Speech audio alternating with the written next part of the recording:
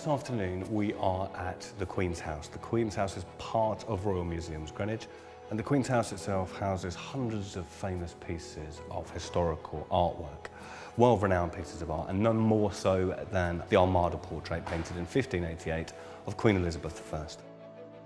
Why we're here is because we've been tasked with producing a brand new poster. A poster that will be seen all across London, all across the UK, using the Armada portrait as its focus, and to draw people into the Queen's House so they can experience all these fabulous pieces of art that are housed here. The poster itself will be this very dramatic picture of the Armada portrait with the headline, Explore Greenwich and Meet the Queen.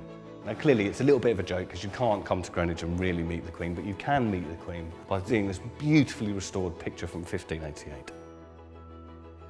Yeah, I've been shooting a 500 year old painting today, so we've taken lots of care with the art piece and tried to balance the light with the selected models. It's been quite challenging, but it's all come together quite nicely.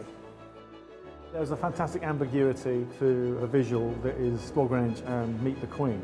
And so there is also that ambiguity in the line because yes, you can't explore Greenwich and meet the Queen, but you can explore Greenwich and meet a Queen, so to speak.